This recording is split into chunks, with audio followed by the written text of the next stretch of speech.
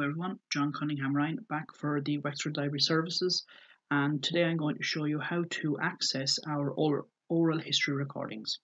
So as before we go to the Wexford County Council website, wexfordcoco.ie slash libraries. This brings us into the library section and shows all the different services the library provides. So we're going to go into the ebooks and e-resources. This is where most of our online content is available. You can see all the different types of content and we're going to go down to oral history recordings here. And there was two different projects. We have a general project running, and then last year we ran a partnership with the Southend Family Resource Centre and recorded um, interviews in regards to the maritime heritage from uh, the south end of the town, that's Maudlintown, William Street direction. But we're just going to go into the oral history project in general.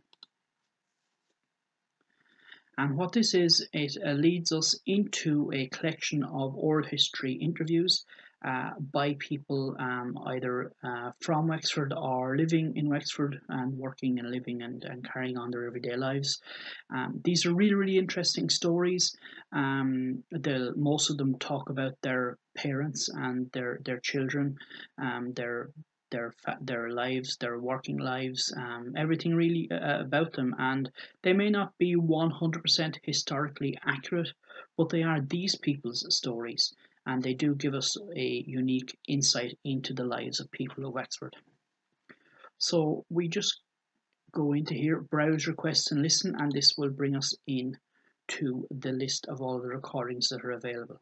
Now you may have seen a previous video that I've done on using uh, Encore, which is the online catalog.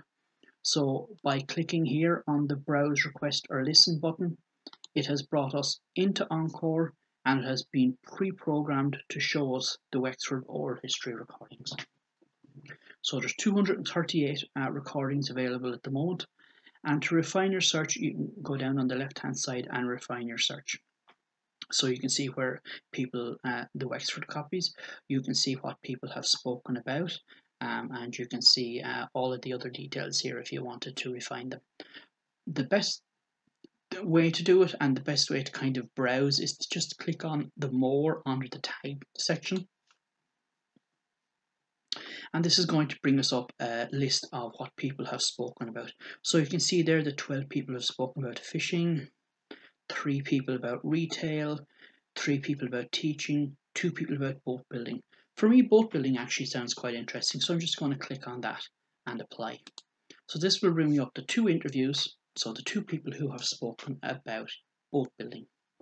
So we can see that Joe Byrne spoke about boat building uh, and he was part of the Southend Maritime Oral History Project and he was interviewed by Angela Young. And then we have Larry Duggan also spoke about boat building and he was interviewed by Alan Maguire. That's Alan Maguire from Southeast Radio. So I'm going to just check on that one, okay? So by clicking on the name up here, it'll bring me in and it'll show me more details of this interview. So you can see here where there are copies available. So you can see that there's a copy on the shelf in Bunclody Enniscorthy and Gorey. So if you happen to go to one of those libraries, you should be able to find a copy of this recording uh, in CD format on the shelf. Um, you can also see a description there of what Larry has spoken about, and you can list see the list of subjects. So if Larry had a spoken maybe about his school days and about farming and fishing and other things, they would all be listed there as well.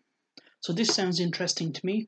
So what I'm going to do is I'm going to see can I listen to this file. So click to download and listen to this oral history project or uh, recording. I'm going to just click on that link there.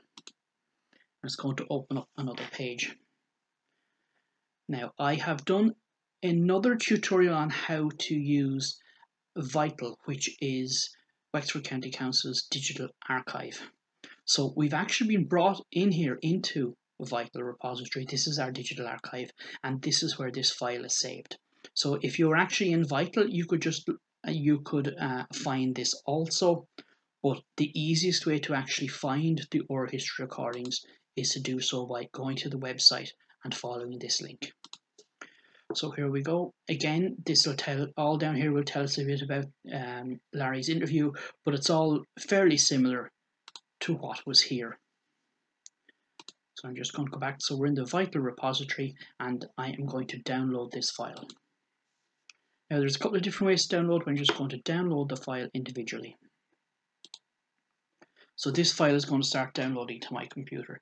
Now, most computers, they will probably scan the file first to make sure there isn't any viruses on it, and then it will download the file in total.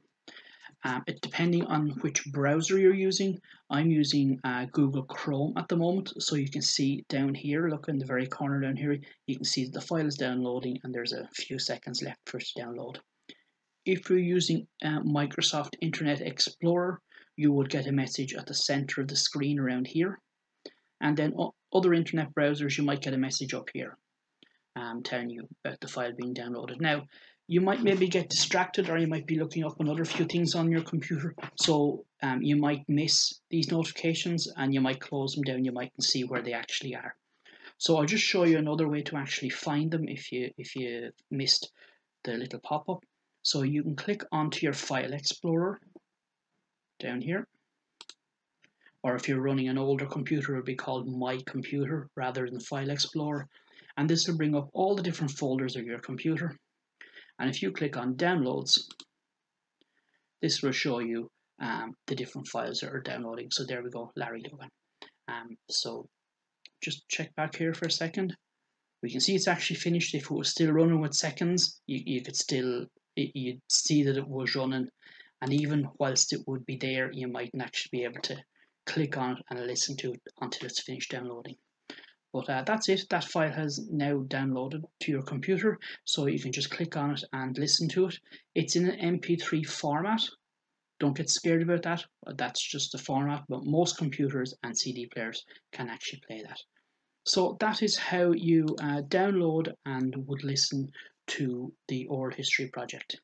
Thank you very much for listening to me. I have been John Cunningham Ryan from the Wexford Library Services. Um, please comment below and please share my video. Thank you.